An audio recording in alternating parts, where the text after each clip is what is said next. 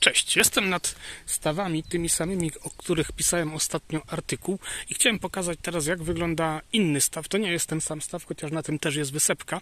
Ten jest akurat y, drugim stawem, ale o co mi tutaj y, chodzi? No chodzi generalnie y, o to, że proszę zobaczyć, jak niski jest poziom wody w pozostałych stawach. Ja teraz stoję częściowo, można powiedzieć, na dnie i to, co tu jest przede mną, wszystko powinno być w wodzie, a tutaj jest linia brzegu jak ta skarpa. To mniej więcej daje nam pojęcie, ile tu było wody jeszcze kilka lat temu, a ponieważ poziom wody jest bardzo niski, o tutaj też widać, gdzie mniej więcej e, była linia wody, no to się podsłaniały takie różne śmieci. O, gryzą mnie tutaj e, komary, także długo też tu nie będę e, siedział. No dobrze, to w takim razie, o tu jeszcze też jakaś butelka, jeszcze nie wiadomo co. No myślę, że się tutaj dużo ciekawych rzeczy znajdzie, gdyby tutaj pochodzić. No dobra, to w takim razie, jak ktoś nie czytał, to zapraszam do przeczytania ostatniego artykułu na Biomist.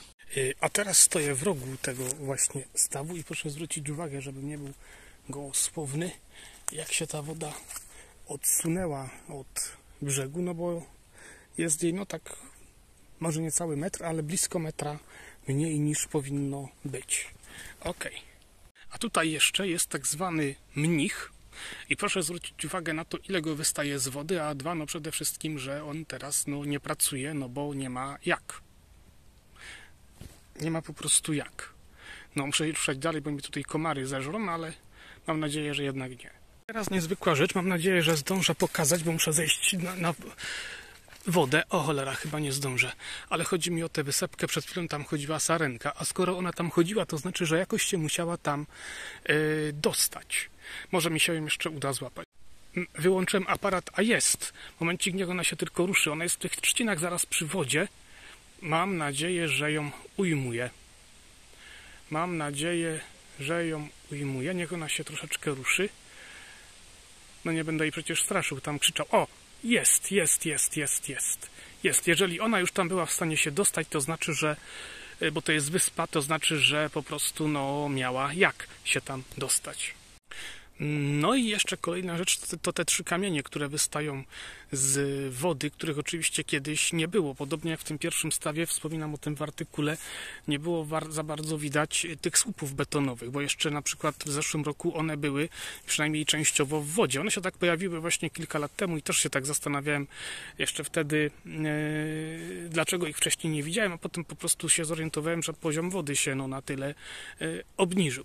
No dobrze, zobaczę, co jeszcze mi się tutaj uda ująć. E, jest i nasza sarenka, są nasze kamienie, dwie kaczki, które sobie na tych kamieniach odpoczywają. No także mamy komplet. O, sarenka wchodzi sobie teraz właśnie do zarośli. A i proszę jeszcze zwrócić uwagę na kolor wody, świadczący o tym, że jest to woda, która stoi, nie ma przez te stawy w tej chwili żadnego e, przepływu tej wody, no więc za bardzo nie widać, co w tej wodzie jest. Rybki są, bo nawet, o, myślę, że widać te kółka, jak się ruszają. Parę ich tutaj takich mniejszych ryb koło mnie pływa, no nie jestem nawet w tej chwili pewien, co to są za jedne. W każdym razie pływają, nawet kilka razy tak podskoczyła już jedna ponad wodę wcześniej, także ten.